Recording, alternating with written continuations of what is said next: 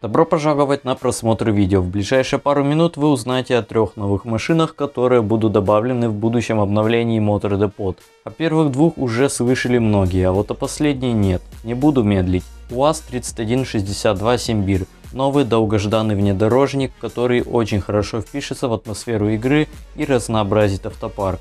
Думаю, многие будут рады увидеть этот автомобиль на дорогах вселенной Motor Depot. ПАЗ-2123. В будущем Нива Chevrolet. Очень необычный и редкий экземпляр. На дорогах сейчас такую встретишь нечасто, но в игру он впишется очень хорошо. Игроки ждали этот автомобиль очень давно. Он однозначно найдет место в сердцах многих игроков.